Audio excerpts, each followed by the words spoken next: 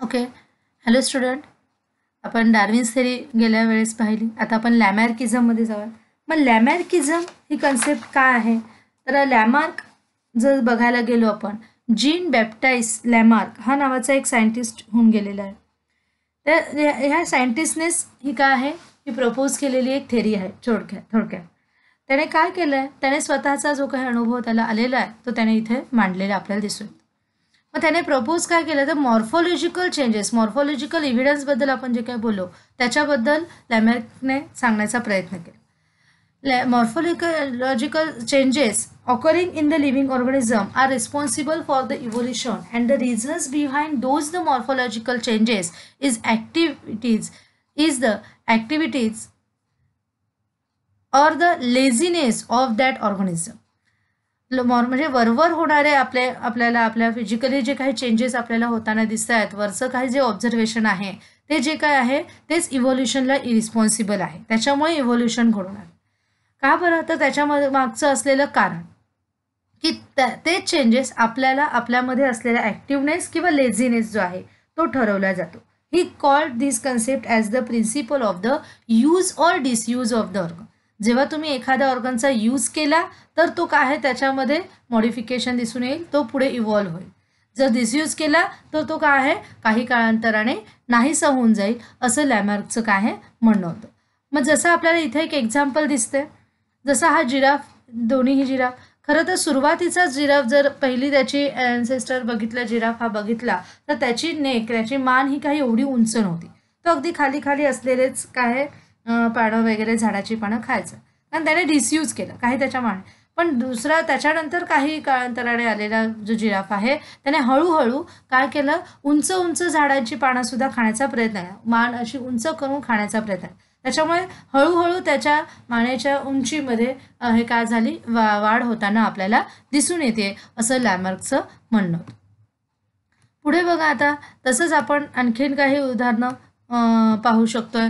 Further he said that the neck of the giraffe has become too long due to the browsing on the leaves of the tall plants by extending their neck for the survive several generations मग असे several जनरेशनने तेच काम केलं आणि त्याच्यामुळे हळूहळू त्याच्या नेकमध्ये आपल्याला काय आहे? हळूहळू काय आहे? वा उंच उंच होत जाताना दिसून येते. Similarly the shoulders of the अँड्समे हा बघितला आपण. लोखंडाच्यावर घाव करणं घालणारा हा तर have become very strong due to the frequent hammering movements त्याने त्याच्याकडून सारखं सारखं ते लोखंडाला हे घाव घालण्याचं काम त्याच्याकडे होतं. आणि हळूहळू ते एकच तेच काम करता करता हळूहळू त्याच्यामध्ये जे स्ट्रॉंग्स काय मसल्स काय झाले स्ट्रॉंग्स झाले. जसं आपण म्हणतो एखादा आपण व्यायाम करतो व्यायाम केल्यानंतर आपले मसल्स काय होतात? स्ट्रॉंग होतात. असं त्या त्यावेळेस लॅमार्किझमने म्हटलेलं आहे. तसंच आपल्याला काय दिसून येतं frequent hammering of the movements त्यानंतर पहा. आपल्याला आणखीन एक त्याच्यामध्ये उदाहरण दिसेल. तर wings of the birds like the ostrich and emu have become weak due wings आपण बघितले ऑस्ट्रिच किंवा इमूचे जर ते वीक आहेत कारण त्यांनी जास्त त्याचा यूज केला. ते धावतात पण पंखा पंख आहेत पण त्यांनी त्यांचा उडण्याचा प्रयत्न जास्त केलेला नव्हता. यूज केला नाही. त्याच्यामुळे ते काय आहे? त्यांचे विंग्स आपल्याला काय दिसतात? वीक दिसून येतात. तसंच आपल्या legs of the birds like the swan and duck have become useful for swimming due to the living in the water and snakes have the snakes have the Snakes have the lost their legs for by modification in their body by for the burying the habits. आपण जर हे बघितले स्वॅन्स किंवा ducks हे जर आहे ते आपल्याला जसं जसं पाण्यात आता तरंगताना दिसतात. खरं त्यांना लेग्स आहेत. त्याने चालण्याचा प्रयत्न त्यावेळेस केला नाही. त्यांनी त्याचा यूज केला नाही. त्याच्यामुळे ते आपल्याला नेहमी स्विंग करतानाच दिसून येतं.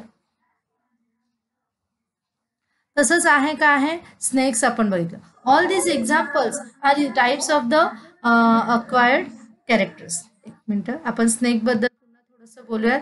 Snakes in their body burying the habits कशाची? ते ब्युरिंग म्हणजे ब्युर करून राहण्याचीच त्यांना हॅबिट होती. त्याच्यामुळे त्या का काळांतराने त्यांचे लेगसुद्धा आपल्याला काय आहे? मॅनेज झालेले दिसून येतात. त्याच्यानंतर आपल्याला पुढचं बघायचं आहे. तर ऑल दीज एक्झाम्पल्स आपण बघायला गेलो.